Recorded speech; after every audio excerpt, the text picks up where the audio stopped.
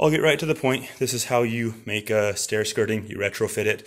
Just make little pieces like this, and you just hot glue them together in that shape, just right along the edge. I like to put little pieces across the top like that just to give it extra strength.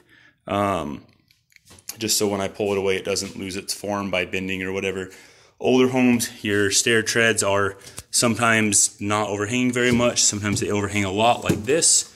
And so I just cut back with a Sawzall at the width of the stair skirt and then knocked it out with a hammer and a chisel.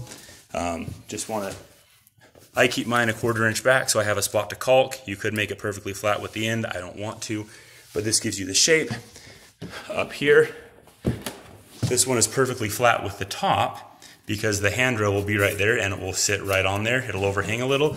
On this side, I hovered it a half inch because I hover my baseboards a half inch and if I don't do that, then there will be a half inch gap between the top of my stair skirt right here and where my baseboard comes out and sits over the top.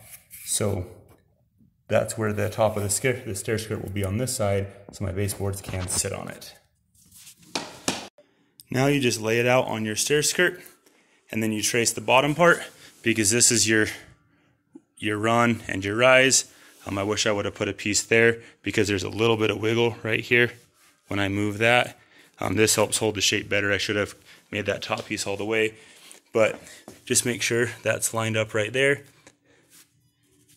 And if there's any that hover just a little bit, that's fine because you are matching the shape of the stairs. You're not trying to make a straight line.